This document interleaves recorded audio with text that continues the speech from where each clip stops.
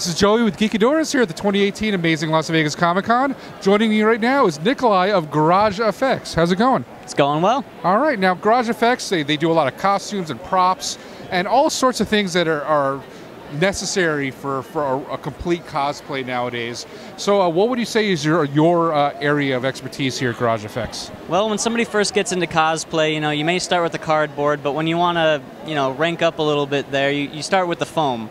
Is really what, what's the next step. So, I teach people how to work with foam. It's a very easy thing to work with, but there are some tips and some tricks that if you don't get those down, you can really mess up your costume. Now, when you say foam, is it just uh, a specific type of foam you're talking about, or just something like packing foam you would get in a box?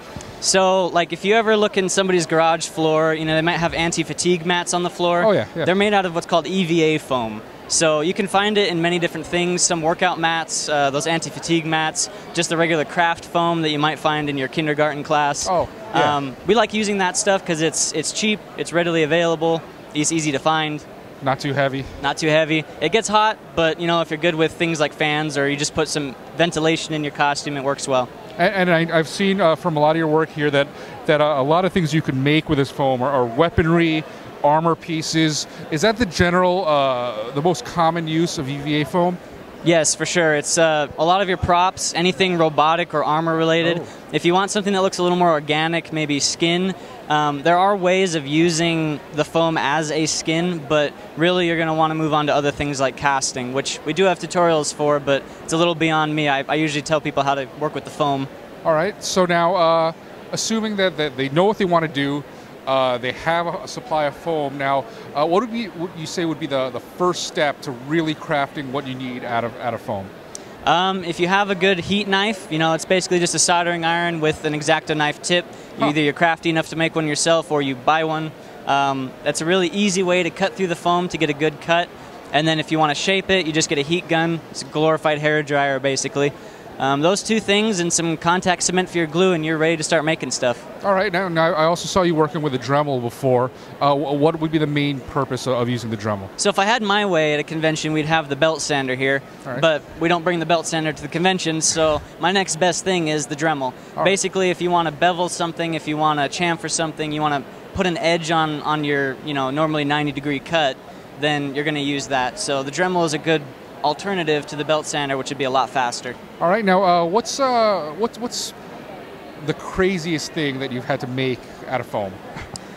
The craziest thing I've tried to make out of foam. Um, we did some Predators a while back. A lot of it was cast, a lot of it was latex, but when we went to make the dreadlocks, it was all made out of foam. Huh. And so it was a lot of very long pieces that, you know, you had to make them so that they actually look like one piece instead of a foam that was wrapped around itself, which is what it was. And that, that took some, some time and effort, but we got it to work.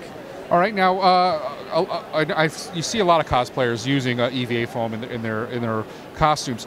What's uh, one of the, the biggest mistakes or most common mistakes you see people make when they're when they're working with foam? Oh, easily when they're trying to use hot glue guns. Never use hot glue on your costume. Every time somebody comes up to us and they want us to help them fix their costume because something broke, it's always, oh, my hot glue came apart. That's always what it does. Always use, you know, either CA glue, the cyanoacrylate, or use contact cement. But if you use a hot glue gun, you're asking for your costume to fall apart. And, and it seems like hot glue is a really common type of uh, uh, material that, that cosplayers think about. Right. I mean, it's kind of the first thing you would think about, but it doesn't work.